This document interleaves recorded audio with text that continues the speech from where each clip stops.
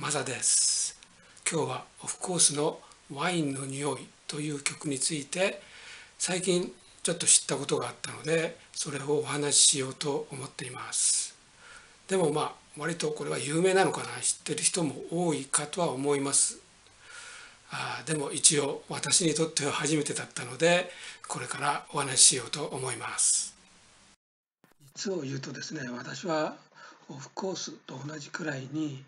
ユーミンの音楽もとても好きなんですよね特に彼女の荒井由実の時代と初期の松任谷由実の時代の曲が好きなんですそれであのよく考えたことがあるのがオフコースとユーミンの間には何か音楽的なこういったつながりとか何かがあるのかなということをちょっと思ったことがあるんですよね。ハイファイセットとユーミンはかなり深い関係がありますよね。彼女の歌を歌ったり、荒井由実の歌をハイファイセット歌ったりしてます。で、ハイファイセットも、まあ、赤い鳥の時代からあのオフコースととは深い関係がありますよね。一緒にコンサートをやったりとか。そういうことがあるので、あのユーミンとオフコースはどうなんだろうっていうことを思ったことがあるんですよね。でも、あまりそのオフコースとユーミンが深い関係にあった、音楽的に深い関係にあったっていうことを聞いたことがなくて、ああんまりレコード会社は同じですよね。東芝エクスプレス。でも関係ないのかなと思っていたんですよね。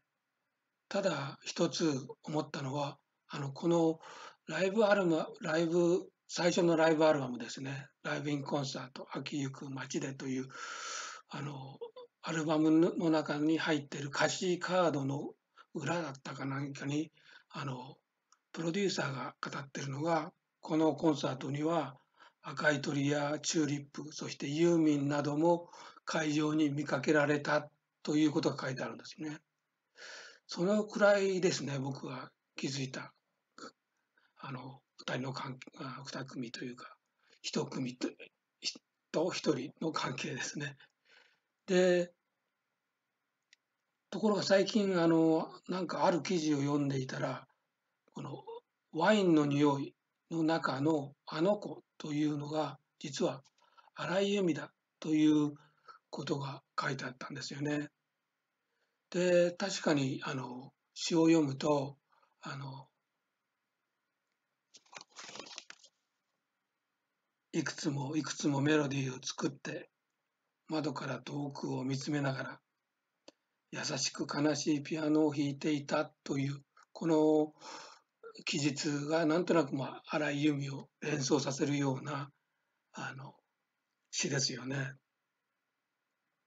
でもまあこのこのこの人の記事はまあ僕がその小田さんとかユーミンが語ってるのを直接聞いた話ではないのであのまあ信じられなかったんですけどでそこであのウィキペディアのワインの匂いの項を読んで初めてあのこれが事実だらしいんですよね。確か小田さんか何かが、えーと、あの小田さんがあのユーミンのあのコンサートを見に行ってその時に受けた印象をあの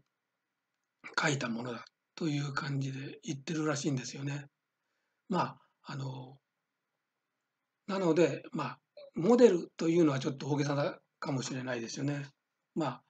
あ彼女の歌ってる姿が小田さんのワインの匂いの詩のインスパイアになったということですよね。